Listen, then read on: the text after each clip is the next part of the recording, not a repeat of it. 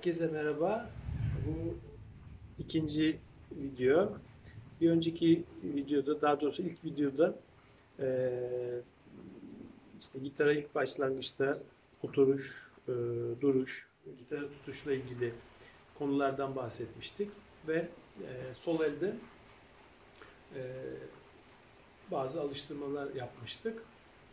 Bu çalışmada bunun devamı olarak sol elle ilgili birkaç konuya daha eee, değinmek istiyorum. Bazı eee, ilk videoda e, değinmediğimiz eee, onları anlatıp daha sonra da sağ elle ilgili eee, yeni konulardan bahsetmek istiyorum. Eee ilk yine şöyle bir hatırlayalım. Sol elle ilgili blok halinde yukarı doğru çıkıp tek tek eee dörder vuruşluk eee, alıştırmalar yapmıştık.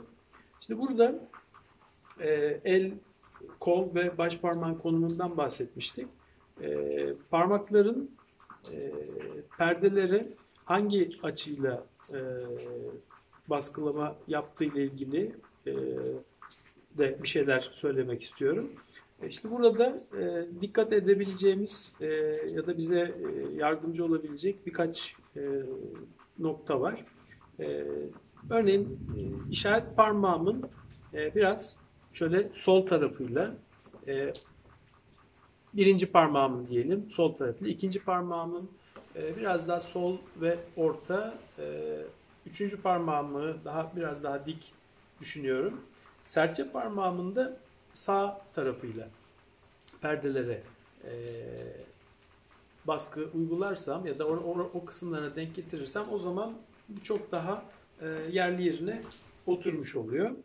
E, burada tabii ki e, bu söylediklerimizi uyguladığımızda böyle bir e, şekil oluşuyor ve işaret parmakla serçe parmak arasında şöyle bir e, parantez gibi e, bir şekilde oluşabilir.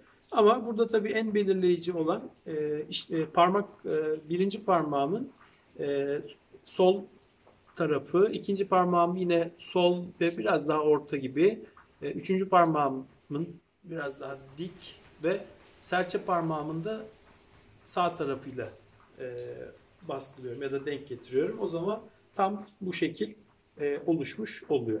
Yine tabii bu baskılarda parmakların e, perdelere e, baskı açıları değişkenlik gösterebilir ama bu e, standart konumda, e, bu konumda bunlara dikkat ettiğimizde e, bu e, rahatlığı ya da bu e, ergonomiyi yakalama e, imkanımız daha mümkün. Yani işte şu şekilde e, olduğunda zaten baskılar değişir, böyle olduğunda değişir. Ee, ama bunu yakaladığımızda, yani bir önce söylediğim konulara dikkat ettiğimizde e, tam işte elim, kolum ve e, omuza kadar olan kısmı çok daha rahat e, ve verimli bir şekilde e, kullanabiliriz. Burada e, bu e, geçen videoda, bir önceki videoda bahsettiğim alıştırmaları blok halinde e, geçmemiz gerektiğinden bahsetmiştik. Bu videoda bunu biraz daha e, bir sonraki adıma taşıyabiliriz. Bu sefer birer vuruş şeklinde ve bir sonraki tele taşıyorum ve bu şekilde uyguluyorum.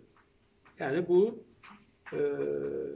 dördüncü tel, beşinci tel, altıncı tel ve sonra sırayla aşağı doğru iniyorum. Burada tabii biraz daha böyle parmaklar e, örümcek misali hareket ediyor. Burada dikkat ettiğim konu enerji aktarımı. E, enerji aktarımından kastımız şu. Bu parmağımı ikinci tele ve bir üst tele aynı perdeye e, aktardım.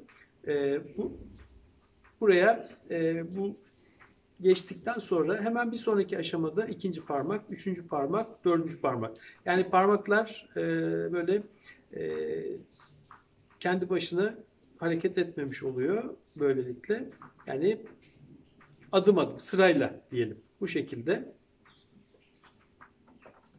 Ve e, yine daha önce söylediğim konu e, elim ve bileğim ön tarafa doğru e, geliyor. yukarı doğru çıktıkça. Sonra sırayla yine aşağı iniyorum. Yine 1, 2, 3, 4 parmak numarası şeklinde e, hareket ettiriyorum. Bunu biraz daha tabii siz yavaş yapabilirsiniz. Bu şekilde e, bunu birkaç tur tekrar edebilirsiniz. Evet.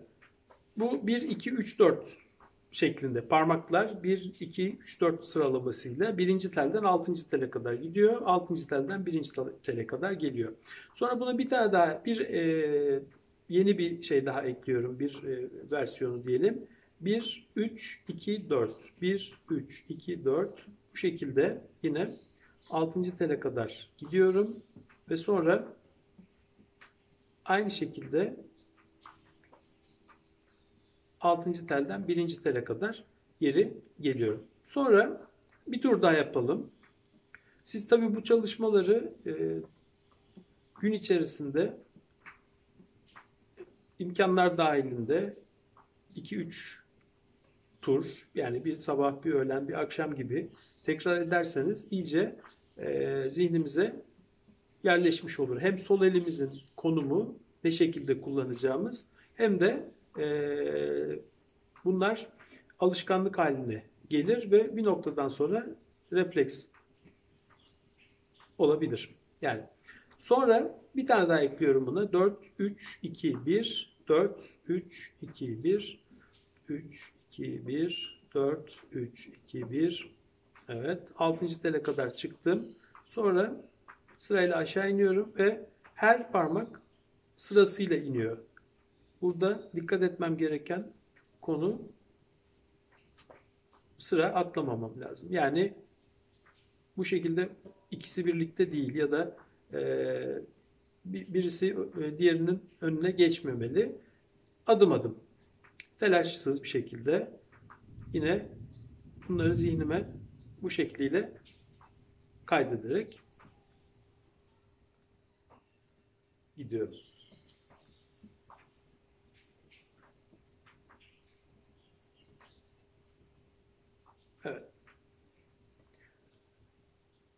Şimdi sol elle ilgili toplam 3 e, alıştırmamız oldu. Bunları bir kere daha tekrar ediyorum. Önce blok halinde 4 kere tekrar ettim. Sonra ikinci tele çıktım.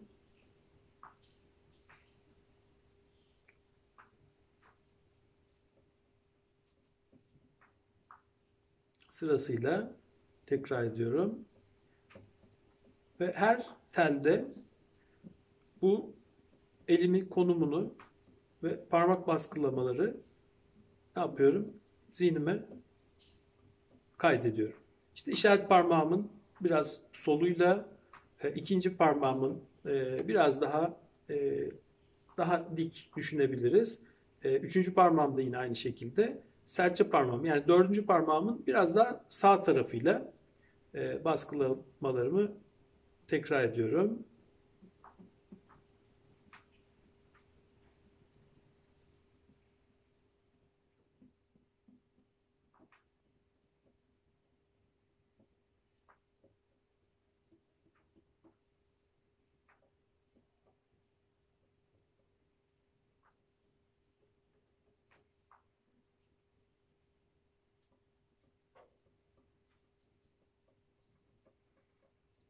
Evet.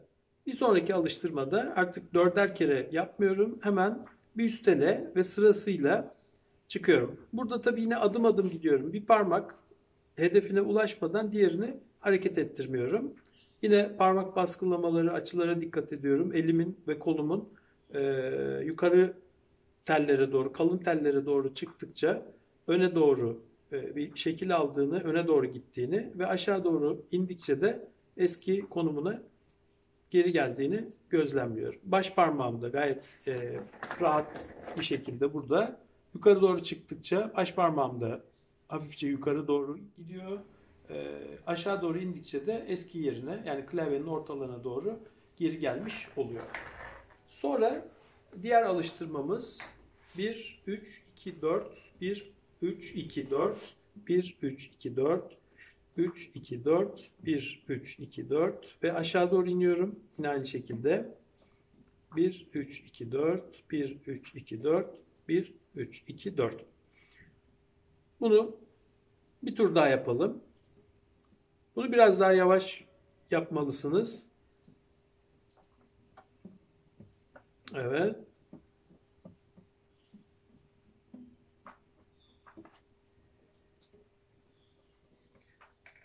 Evet. Şimdi diğer alıştırmamız 4, 3, 2, 1, 4, 3, 2, 1, 4, 3, 2, 1, 3, 2, 1, 4, 3, 2, 1, 4, 3, 2, 1. Aynı şekilde aşağı doğru iniyorum. Evet. Bu üç alıştırma bize e, neyi sağlıyor? Onu bir kere daha tekrar edelim. Sol elimizin, e, bileğimizin ve kolumuzun konumunu e, iyice e, pek alışkanlık haline e, getirmemizi ve e, ne şekilde hareket ettirmemiz gerektiğini e, daha iyi anlamış oluyoruz. Parmakların baskılamaları yani işaret parmağımın biraz e, sol tarafı, ikinci parmağımın e, biraz daha ortası, üçüncü parmağım daha or, yani orta ve dik, e, dördüncü parmağım da biraz sağ tarafıyla e, baskılamış oluyor.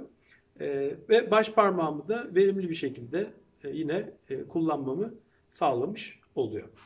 Evet yani ilk videoda e, bazı değinmediğim konuları da burada değinmiş oldum ve birkaç yeni e, alıştırmada buna ilave etmiş oldum. Şimdi bu e, iki videonun sonucunda hem e, klasik gitarda işte oturuş, duruş ve tutuş, vücudu, elleri, kolları nasıl kullanmamız gerektiği konusunu iyice bir e, daha da e, pekiştirmiş oluyoruz.